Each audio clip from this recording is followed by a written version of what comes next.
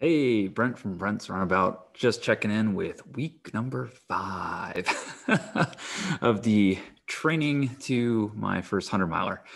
Well, it's been an interesting week four. We should probably recap that first. I'm going to go ahead and just share out my screen. We'll go from there. So, really, just kind of starting back with really the end of week three. I, uh, excited to join in my youngest sister. Uh, her and my brother-in-law were visiting over the holidays. Everyone was being COVID safe leading up to the the visit, and uh, she does a hip hop class. I think a couple different ones. One's more workout focused, and our one's more actual like hip hop moves and things like that.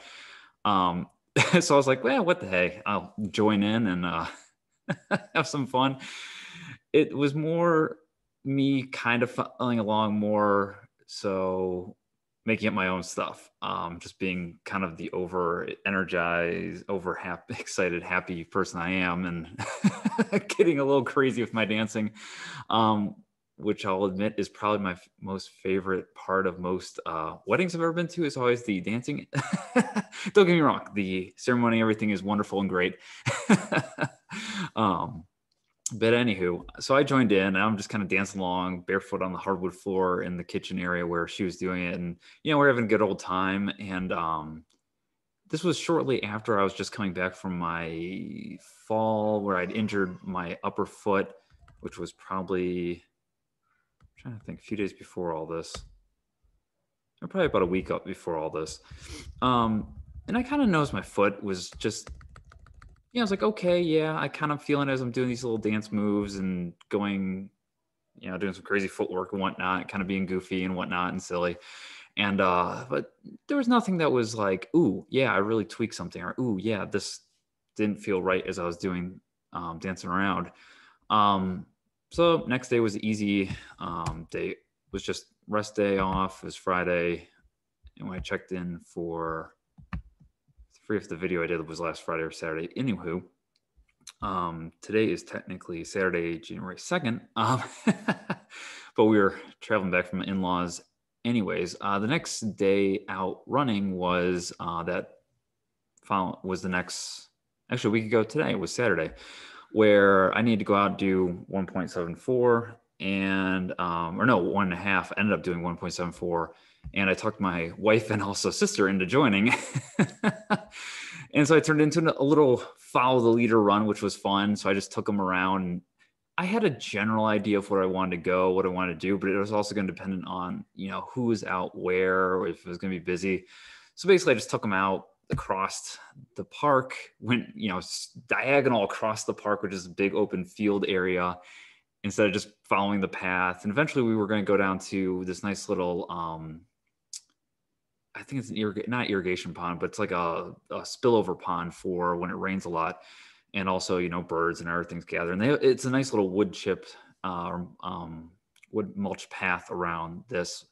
Unfortunately, there was some a couple walking by, so we had to keep going around. Eventually, we were going up this hill that I like, and then I realized like, ooh, this cuts into the woods just in this area. So if you're following my Instagram, which if not, just go out to Instagram, look up Brent's Runabout, all one word I'll link to it below. and I posted that, hey, we, you know, we've done this run. I shot threw in some videos. It basically turned into me leading them into the woods, which I knew about. But then I thought I was going to be able to easily get us back out and then realize, oh, wait, we dead ended into this area. It basically turned into this whole exploration run of us kind of looking for a way to get to the path I knew was, you know, basically getting from one path to this other path um, what I didn't realize is that we were going to have to cross the small creek that was surrounded by pricker bushes. um, finally, my wife found a way across, so we crossed, jumped the creek, found, got on the path, and we're coming across, coming back. And there was a couple down trees, and at one point, I remember hopping up on the path onto one of those trees and jumping down the other side. And the whole time I'm in my Xero Hanas, which it's like a love hate relationship with those things. I love it they're not actually running shoes. They're kind of like an all around kick around shoes. They're great in that respect. And I do love running in them because it's just like, it's basically just, I wish I had them nearby. I could go grab them and um, show you, but it's, it's just like the sole. And then there's like an insert, which is kind of just really a, I don't even know if it's a foam. It's just some sort of very kind of compact material to just give you a little bit of a buffer between the sole and your foot and the ground. Um, anywho, they're not really made for running. Xero Shoes even notes this. They but they say you know people are going to use this for running, and I've done it. I've ran in them, hiked in them, trail ran in them. you know, ten mile, two different ten mile runs in them.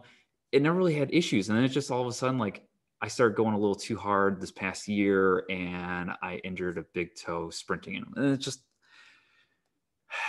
it's one of those things where it's like it's just like okay darn like i take a couple steps forward take a step back because i injured myself. And it's just was it too much too soon? Yes. Was it maybe not the right footwear? Probably.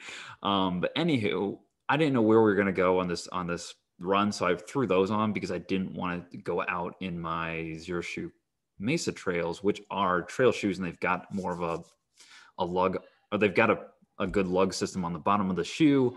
So I didn't want to be running around on concrete in the street and whatnot on those. Um, versus if I go out my, by myself in those, I will then head to, I guess I can stop sharing as I see more just me. there we go. I let, you know, those are, if I know I'm going to go over to the park and just do loops on the grass, I love those because I like the extra grip. I like running in those. They have like a bit it's kind of a really cool insert. It's like this kind of honeycomb. I don't even like. I don't know if it's diamond material, but it's really cool because it's it's minimal. It allows. I feel like the things just kind of work like some mattresses where it just like it kind of folds on itself to then cushion the right way for your foot. Like it's not a big sole. It's only like it's very minimal. Um, but it's a world of a difference between the Mesa Trail and the Cloud sorry, Cloud is the sandal, Mesa Trail, and the Hana, which is what I've been talking about this whole time. If I said Cloud earlier, I apologize. I've been talking about the Shoe Hana, which is the closed-toed actual shoe. It's got a canvas upper and then a very minimal um, sole. Anywho, this is turning into a Xero Shoes review. uh, long way in saying I'm running in the Hana, not the Cloud. Running in the Hana on this trail exploration run, follow leader run with my um, youngest sister and my wife.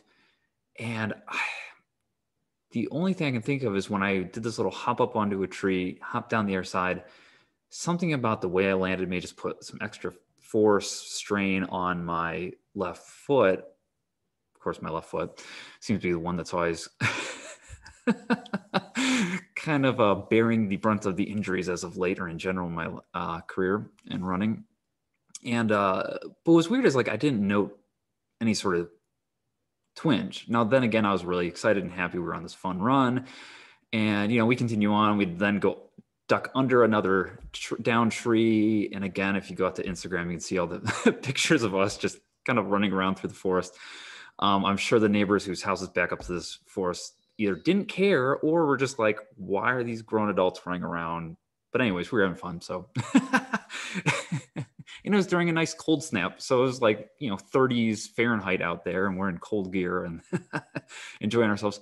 Um, but anyways, eventually we make our way back. Rest of the day, don't notice my foot. Um, actually, now I do want to share my screen again. And the next day was just an, an off day. It was the 27th. So I just, I didn't do anything unless I maybe did, I don't even know, remember if I did resistance training or some, um, calf raises or anything like that, or some calf extensions. But it wasn't until two days later after that that I was like, I skipped my run here because my Achilles and the left side, lower side of my ankle just felt tweaked. Um, oops, supposed to say did do 3.1. I did go for a walk and then it was the following day that you know, woke up and my foot was really sore, just limited mobility in my left ankle. Um, you know, still under towards that back side of of my outside of the ankle. And then just was like, yeah, definitely no running. I know it earlier in the day I was going to try resistance training and then still didn't do a full resistance training that I had I had listed here. Um, I then did some modified calf raises on oh on a step. So on the steps, I just would go over and on the ball, I'd put place depending on which foot, I'd do one foot at a time and place the balls of my foot on the end of the, the step. So then my heel would then lower and go below the step and come back up. And what I'd normally do for this is eccentric. I'd also do eccentric stretches this way where you just, again, put the balls feet on the edge of the step, lower your heel down, and then that helps lengthen out and kind of, there's more technical terms and a physical therapist or doctor could probably explain this better, but it helps kind of purposely break up um, the Achilles and some of the other things to then hopefully get it to reheal in more of a straight way. Otherwise, like if you injure it, at least based on the, I don't want to overstep my training here, but my certification, but based on what I've at least researched and, you know, done some research on myself is that it then helps um, break up any jumbledness in your um, Achilles and other uh, fascia I think I remember looking this up for some hip, you know, fascia around my hip when I was having some issues there. Um, anywho, getting off topic here. So that's where I mean by modified then, normally with calf raises, I just let the other foot hang um, off the step. So then it's only the one foot supporting my weight and then also doing the actual steps. So for the um, raises, I then lower my foot, my heel, pretend my palm is my heel, come up, go above the step, and then come back down and then repeat that however many reps I want to do, and then number of sets I want to do with each foot. Um, but for modified, I left the other foot kind of on top of stuff. So then I wasn't putting my full weight on, especially my left foot. I was just then really kind of testing out, okay, can I do the stretch? Is it hurting? Is it not hurting? Because I remember from, I forget one point, one of my, one of the previous doctors or physical therapists I saw in the past had said like, you know, with, if this actually is a tendon ish, issue, you want to, once it's kind of you know, once you've rested it, it's no longer hurting. You want to get mobility back into it because that will help. Um, and do some of these, the you know, the, the calf raises was one of the ones this particular, um, I think physical therapist or was a podiatrist. I can't remember at this point, but one of those doctors gave me these exercises to then do. So then it helps build back the mobility. You know, you maintain your mobility. You're not going to lose mobility because if those some of those tendons they told me heal wrong, you end up with some other issues. So again, take this with a grain of salt. I am not a doctor, not a physical therapist. So if you are having your own issues, um, obviously do your own research. And at the very, you know, what I would always just go with saying is reach out to your your trusted physician, trusted um, physical therapist. If you don't have one, look one up. Like look likely, assuming you've got coverage and all that fun stuff, you have someone that you can find locally to reach out to. Um, and go from there. Um, I'm even at the point myself where I keep having these recurring things. Is it my body telling me like, whoa, Brent, you know, you keep trying to jump from all these running goals to running goals this past year. Why don't you just take some time off? Which I really did through, oh, geez, July, August, September of this past year in 2020. And I really did like that. I was just kind of having more of like a nonchalant, like, yeah, run once a week, maybe twice, do a lot more biking, more longboarding, enjoy more walks and that's really what I was trying to do with this training plan, um, where I'm only doing four days a week. It's very minimal mileage, at least compared to what I was doing, where kind of my go-to runs was anywhere from three to six miles on a on the more on a whim runs, and not really, you know, and long runs being just that three miles. Um, so anywho, I got did some of the mod getting back to the actual training plan here. Um, did my modified calf raises. And again, the following day, same thing. I just basically skipped the rest of the runs for the day and just did um, modified calf raises as I could, and also some more calf stretches, um, one leg behind the other, other leg in front, and just kind of holding on to um, wall, desk, or whatever. So then I could then stretch out my calf. Sorry, my daughter is now joined in the background. Start hearing her. Um, and then for the end of the week, end up doing a longer walk from our in-laws house into town to go grab a um, coffee in town. And uh, the foot was feeling better at this point. Up to that point i was definitely babying my left foot when it was really sore and um, then found i was getting a bit sore on my right leg because i was then offsetting the left. Um, but at least i tried some walks in here where that one felt you know earlier in the week, did a walk. It's like, okay, you know, I feel myself a little off in how I'm walking, but then woke up the next morning, I was like, ooh, my foot's really sore. So then I just tried again with another long walk. Um, because again, walking for the most part was fine. Once I kind of found and kind of work, you know, warmed up my my ankle.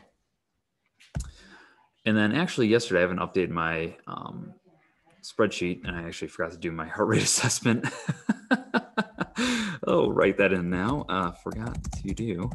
Um, but we were actually packing up when we just traveled, came back home yesterday. And so as a rest day, my was feeling a lot better. Um, didn't wake up with the soreness after this walk yesterday morning as I did earlier in the week, which is actually a good sign. Um, so today I'm actually supposed to go out and do 1.5 miles, which I've already decided I'm not going to go do. Um, maybe later in the day, do some resistance training, do some of the modified calf raises and things like that and stretches that I was talking about earlier. And then if the weather's nice and the sorry, the windows are now blocked, but I could probably stop sharing at this point. You know, if the weather's nice, go out and do a nice walk with daughter in the pram and um, you know, just kind of see how the ankle is tomorrow. And then maybe move that 1.5 mile run that I was supposed to do today to tomorrow and really just kind of assess. So I think that's what I'm really liking with having this long extended building um, phase is that it's it leaves a lot of just space, and I like that kind of space to then realize like, okay, am I feeling it today? Do I have any, you know, actual injuries? Do I need to push back a day, move a day? Um, for most part, it's been working well, except for like that fall, and now I've got the ankle thing, which is just um, you know, I've already missed three. Sorry, you can't see it, but I've flipped back to my training plan. Now I'm going to miss four runs, which actually still puts me at that two or no, one to four missed days. So it really depends on tomorrow how I'm feeling. If I can come back and then get my run in there, and maybe just do a shorter run. Again, we'll see how I feel.